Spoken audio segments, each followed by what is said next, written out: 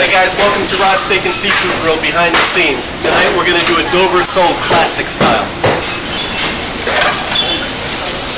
Alright, sous chef Gus is gonna start the Dover Sole. He's gonna start by getting that pan very, very hot with a little bit of oil. He's got his Dover Sole here, which he's gonna season with a little bit of salt and pepper.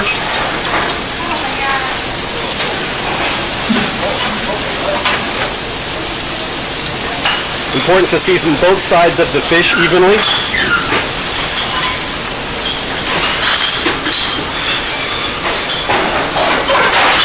After he seasons the fish, he's going to dredge it lightly in flour. And he's going to dust off, this is important, you're going to dust off the excess flour. Now you can see that saute pan is at the smoking point. Very important. As soon as he puts it in, he gives it a quick shake, ensuring that that fish does not stick to the bottom of that pan. He's going to let that saute for a couple minutes till it gets golden brown.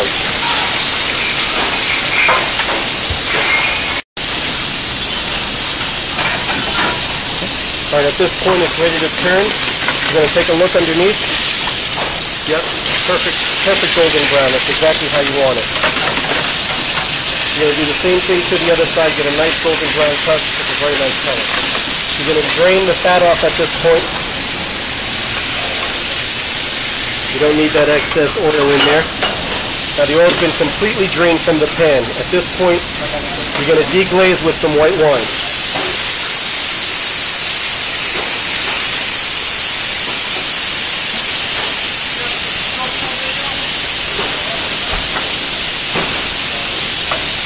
Interrupt my video one more time, I'm going to rip your head off. Now get out of my kitchen! Okay, you're going to hit it with some fresh lemon juice.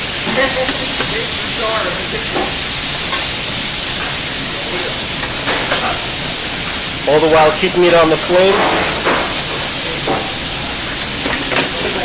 At this point, you're going to hit it with a little bit of vegetable stock.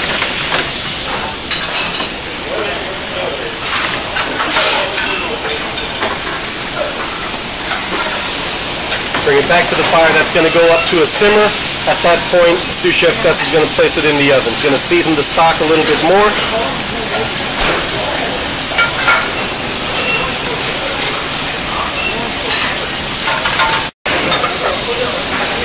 Right, just before Chef Gus is going to put it in the oven, he puts a little dab of butter. Just a little dab will do ya.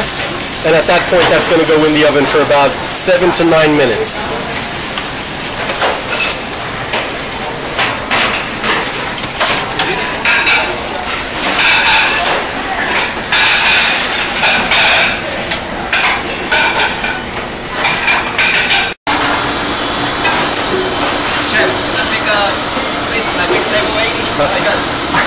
I'm gonna, I'm gonna wrap my hand around your neck.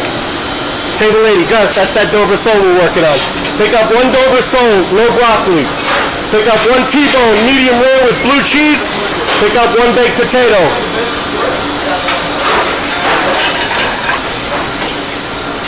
All right, as we're gonna pick up that Dover sole, Gustavo's gonna braise some vegetables to go with it, some tourné veg, zucchini, squash, carrots, asparagus, a little butter, a little stock. Already roasted some new potatoes, roasted tomato. A little stock with that vegetable. Let's see how that Dover sole came out, buddy.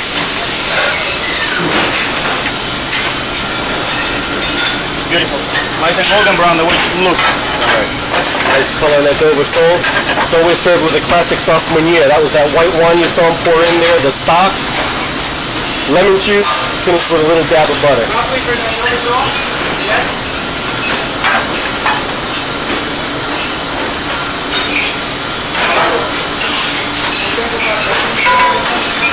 right, we're going to French that Dover sole outside in the restaurant, tableside service. I'm not going to be going out there. We'll show you that another time. We'll get presented on a silver platter. Pack those up in the window. They'll French that outside. Finish up the accompanied plate that's going to go with. Now he's got that nice butter sauce coating the vegetables. Little yellow squash, carrot, green zucchini, finished with asparagus. Got a roasted tomato going with that.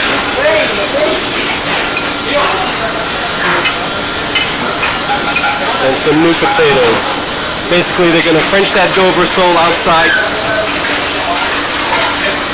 Place both fillets right on that plate there. Nice job, Gus. There you go, Dover sole a la Meunière. The Meunière sauce going in the gooseneck. That's a beautiful sauce. Just put a little bit of fresh parsley on there to finish it off. Thanks, buddy. Go. JC, get it out, please.